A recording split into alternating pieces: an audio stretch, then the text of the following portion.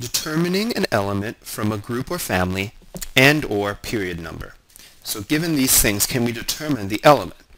In this question, it says the element with group number 2a and period number 3 is what element? So we're looking for the element that has is in group 2a and period 3.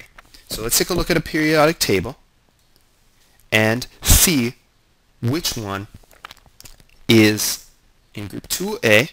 So we're going to write this up here just so we can remember group 2a with period 3.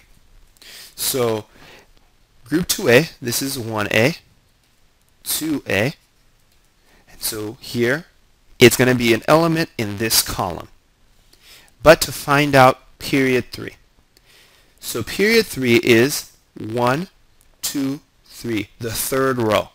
Now don't be confused, even if there's not an element here, that's still this still this element still counts as being in the second period or the second row of the periodic table. So we have to count the hydrogen helium row and then go on to 2 and 3.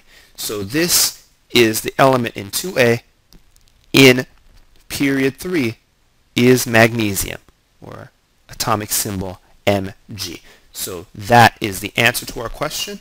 Let's go back and say that element in group 2A, group, group number 2A and period number 3 is Mg, magnesium.